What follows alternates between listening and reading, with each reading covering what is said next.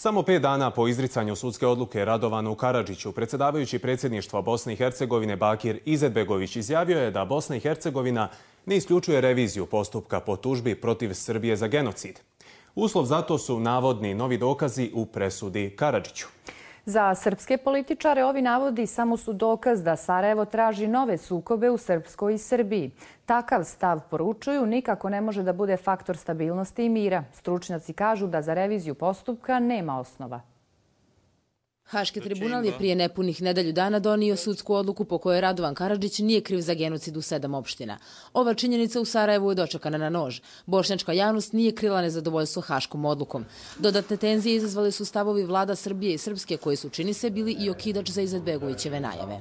Profesionalci, prije svega naš agent koji jedini ima legitimaciju da pokrene reviziju presude će se udubiti u samu presudnjen sadržaj i vidjet ćemo ima novih elemenata. Ako ih bude, mi nećemo bježati od toga. Srbija nije iznenađena ovakvim reagovanjima nakon Haške odluke u predmetu Karadžić. Izbegovićeve najave premijer Aleksandar Vučić vidi kao želju za osvetom. U prvoj izjavi posle izricanja presude Karadžiću nisam ni pomenuo Bakira Izetbegovića, ali sam po svemu sudeći dobro naslutio da neko ne želi pomirenje u regionu, već ide protiv 35% stanovništva vlastite zemlje i traži bilo kakav dovoljan razlog da pokrene spiralu najprije političkog, a onda ko zna kakvog nasilja. Od revizije presude koju tako pompezno zagovara Bakir Izetbegović nema i neće biti ništa, poručuje srpski član predsjedništva Mladen Ivanić. Za takvu proceduru potrebna je saglasnost sva tri člana, a Ivanić kaže nikada neće dati svoj glas priča o reviziji tužbe protiv Srbije je zatvorena, od nje nema ništa i to je samo puka i nepotrebna politizacija i posebno govorim, ja sam osoba od koje to zavisi. Politiziramo svaku presudu, ja mislim da na to nije bilo potrebno ni ovaj put.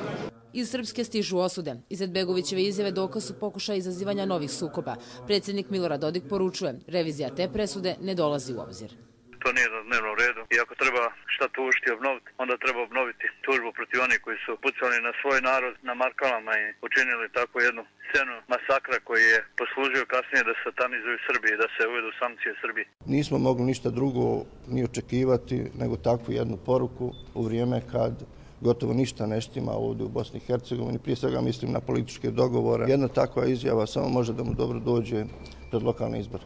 Međunarodni sud pravde je u februaru 2007. godine kao neutemeljenu odbacio tužbu BiH protiv Savezne republike Jugoslavije, odnosno protiv Srbije za agresiju i genocid. Presudom je ostavljena mogućnost revizije u roku od 10 godina. Za to, tvrde pravnici, nema osnova, jer presuda Karadžiću ne donosi nove činjenice koje bi se mogle pripisati Srbiji. Vidim i da su e, dokazi protiv Karadžića uglavnom indirektni dokazi, ali to je stvar suda, u to ne bih sad ušao. Zaista ne vidim E, jednu tačku podrške za to da bi to bilo pripisivo Srbiji. Rok za pokretanje revizije ističe u februaru 2017. godine.